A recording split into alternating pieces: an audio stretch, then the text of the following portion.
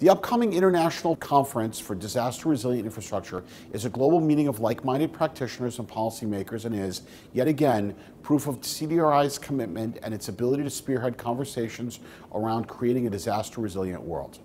The conference will provide an opportunity to discuss challenges, identify good practices, develop collaboration, galvanize concrete actions, and showcase that these conversations, no matter how tough they become, will continue until we find real solutions.